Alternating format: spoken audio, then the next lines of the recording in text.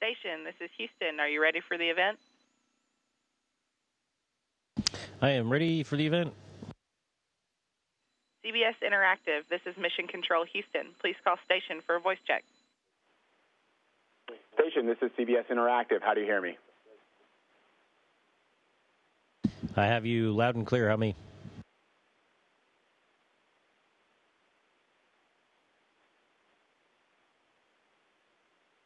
We sir. We hear you.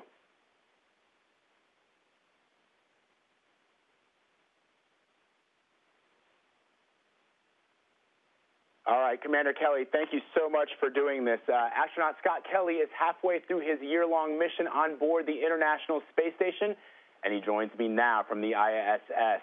Sir, this is such a great moment for us. Uh, you're at the halfway point in the mission. How are you feeling?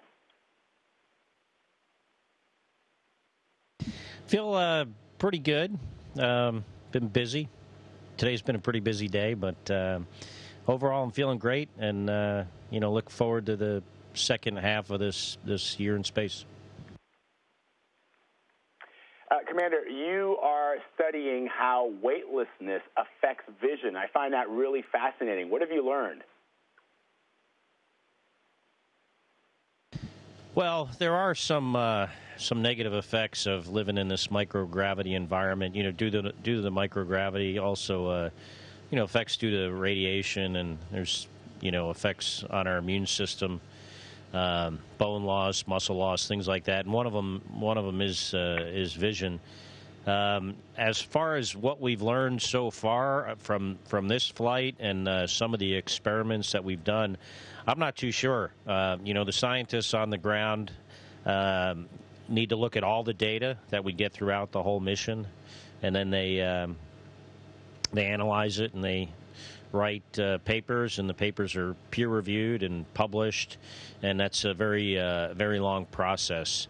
I know as far as like my symptoms of my vision, uh, as far as that's concerned, um, you know, even though I had some like structural changes last time in my eyes, uh, just subjectively, my vision seems uh, seems unchanged from from when I launched.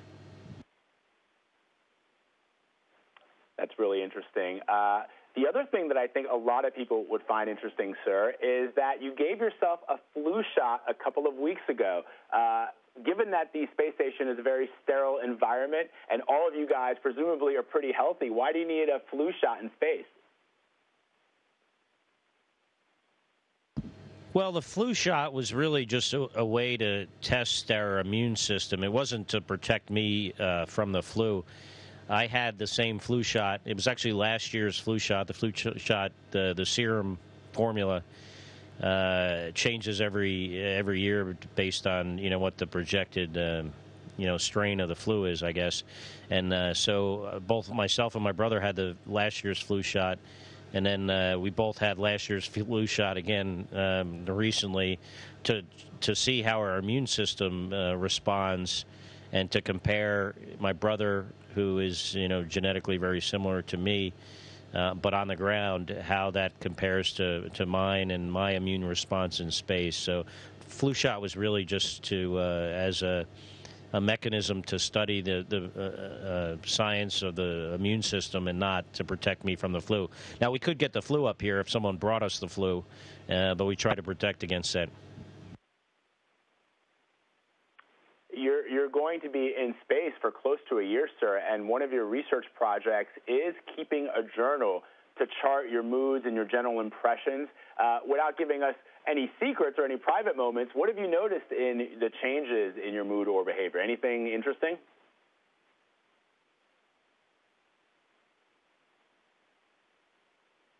You know, I was pretty lucky that I had lived up here before, and uh, so I knew I knew what to expect. Um, uh, so you know, I expected that this would would seem like a long time because I last time I was up here for 50, 159 days, and now I've been up here for like I think 189 with with uh, about that ahead of me, um, or a little less than that ahead of me. So, you know, I did expect that you know I would have a feeling, a little bit of. Uh, you know, fatigue from the duration, from the fact that you're always at work, you can't go outside, um, you're always on a very, you know, pretty stringent schedule. So I knew that going into it. So I don't think it's affected my my mood much or my my behavior, but it is something that uh, you know people are interested in. Yeah, and, and the other thing that I think people are interested in, you you put out on Twitter, you're very active on Twitter, which is great for all of us here on Earth. Uh, you back in April, you tweeted a picture uh, of your your bedroom on board the ISS, and you and you called it, you said it all the comforts of home. Uh, well, most of them. So how well are you sleeping in that little cozy bedroom? Um, it's interesting. I, I sleep okay. Um, it's somewhat different than on Earth. I mean, I definitely miss the, uh, you know, the weight of the the blanket and the feeling of the sheets and the pillows and stuff like that. You don't really have that sense up here. But uh, you know, the one advantage of of sleeping here and just living here in general is, uh, you know, a lot of the aches and pains you have on Earth after a while go away. I'm not really sure why, but uh, I guess maybe because you're not using your joints and your muscles much um, except when you're exercising, that you know they have more time to, to heal and recover. Um, so, in that regard, sleeping up here is more comfortable. You know, I don't have you know neck pain, back pain, things like that. Uh, so it's it's better in, in that respect, but but not as good with regards to like feeling the like I said the weight of the blanket and the sheets and stuff. Yeah, I think a lot of people could get into not feeling any aches and pains, sir. That's pretty cool. Uh, you know, we saw another picture that you tweeted earlier, uh, the storm that we're expecting here uh, on the east coast of the United States. And obviously, you can see that from space. I'm just wondering, uh, and there we see that image there. It's pretty cool. Does it move very quickly across uh, from your vantage point, or does it sort of just hover there, given the distance you are in space? So I think that storm at the time was moving six miles an hour, and we're moving 17,500 miles an hour. So even if it was moving uh, much faster, you know, fast storm speed, I guess, um, you know, the, the relative speed is so much that you would never notice it. It seems like it's standing still. So, sir, before we let you go, we got only about two minutes left. I got to ask you. You know, a lot of people gush over astronauts and they think you guys are heroes. Uh, but you've said in the past that you're just a regular guy. I wonder, though, when you were a kid, learning about Neil Armstrong or Buzz Aldrin or Scott Carpenter, did how did you see them?